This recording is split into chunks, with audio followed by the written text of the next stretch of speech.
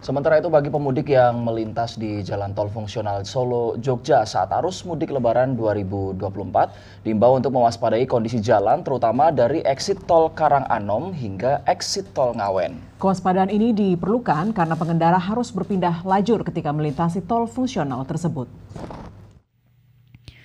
Secara umum, jalan tol fungsional Solo Jogja saat arus mudik lebaran 2024 ruas Klaten sudah bisa dilalui. Namun Kapolres Klaten AKBP Warsono mengaku pihaknya telah mendeteksi dua lokasi yang membuat pengendara harus berpindah lajur.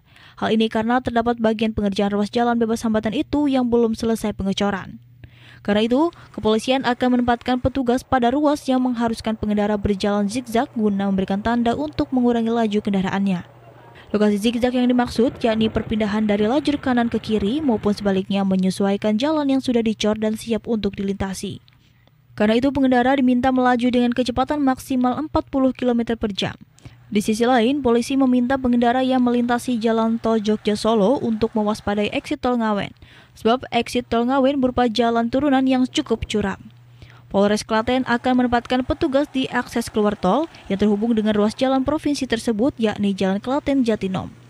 Sementara itu, staf pengendali proyek PT Jasa Marga Jogja Solo, Said Muhammad mengimbau agar pengendara yang melintas di ruas tol fungsional memperhatikan rambu-rambu lalu lintas dan tidak berhenti di jalan tol fungsional Solo Jogja.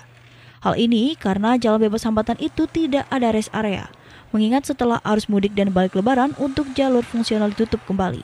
Demikian Herdian Giri dan Tri Hartanto TVRI Yogyakarta melaporkan dari Klaten, Jawa Tengah.